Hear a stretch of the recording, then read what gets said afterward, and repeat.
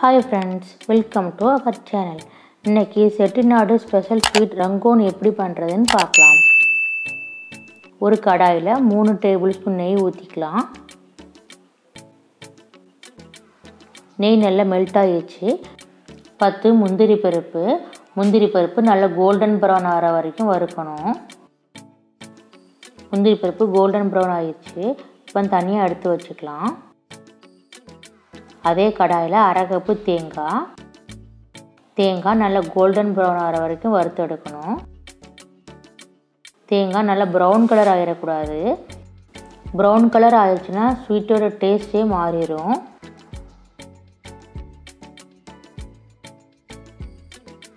தேங்காய் நல்லா golden brown ஆகிடுச்சு இப்போ அதை தனியாக எடுத்து வச்சுக்கலாம். அதே கடாயில் ஒரு டேபிள் ஸ்பூன் நெய் ஒரு கப்பு ரவை போட்டுக்கலாம்.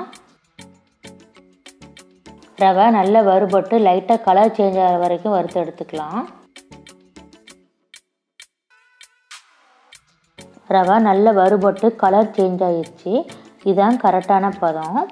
இப்போ இதில் மூணு கப்பு தண்ணி ஊற்றிக்கலாம் ஒரு கப்பு நாட்டு சர்க்கரை. நீங்கள் நாட்டு சர்க்கரை பதிலாக வெல்லம் கூட ஆட் பண்ணிக்கலாம். நீங்கள் வெல்லம் சேர்க்கதா இருந்தால் மூணு கப்பு தண்ணியில் வெள்ளத்தை நல்லா கரைச்சி வடிகட்டி ஆட் பண்ணிக்கோங்க. நான் இன்றைக்கி நாட்டு சர்க்கரை யூஸ் பண்ணனால தண்ணி ஊற்றி அதுக்கப்புறம் நான் நாட்டு சர்க்கரையை ஆட் பண்ணேன்.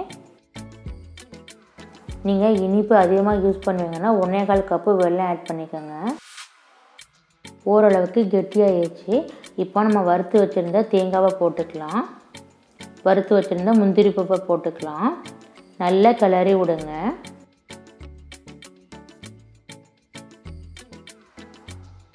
பேனில் ஒட்டாமல் கேசரி பதத்துக்கு வர்றது வரைக்கும் கிளறி விட்டுட்டே இருங்க.